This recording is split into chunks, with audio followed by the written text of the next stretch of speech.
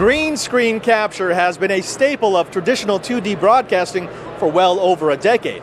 But what if you could have the exact same effect with the exact same setup, but instead of 2D, you have 3D. That's why we're here at Organic Motion showing what their motion capture platform can do.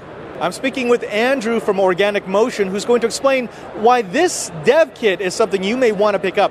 Andrew, where do you see this being used? I mean, it is it's amazing technology, the ability to generate in real time a 3D model that I could use in broadcasting, but it seems to be a, a bit of a specialized product. Well, we're really excited. Uh, so we released uh, Reality Capture Live uh, here at the show.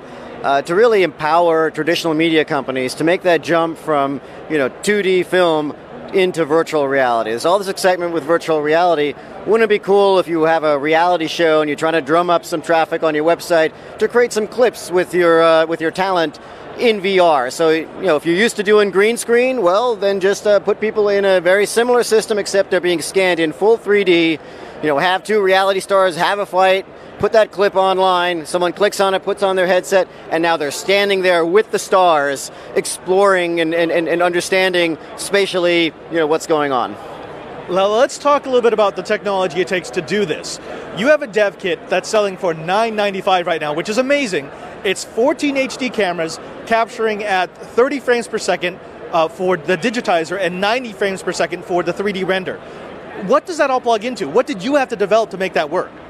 Well, I mean, the dev kit specifically is there to foster uh, community in the development space right now. I mean, virtual reality is at its infancy, and, and uh, I think there's been some really good uh, activity by developers, and so we're trying to foster that, get that out there. Um, so 14 cameras, 14 HD cameras is, is what you need to, to create this real-time 3D scanner. So with the system, we give you the software, uh, you can set up a room and, and scan yourself 30 times a second, live video, and then of course that gets broadcast and then rendered at 90 frames a second in virtual reality world so you know you don't get dizzy and everything's snappy. Where would you like to see this technology next year? So let's say that Organic Motion continues to develop this product. You, you increase the resolution, you increase the frames per second, you get community support so that you get third party developers working on, on your product. Where ultimately would you like this to land? I'd, I'd really like to see some live music venues. You know, the idea that you've got a, a performer on stage in our system singing and live uh, broadcasting into VR so that I can put on my headset and be on stage with the performers at the same time.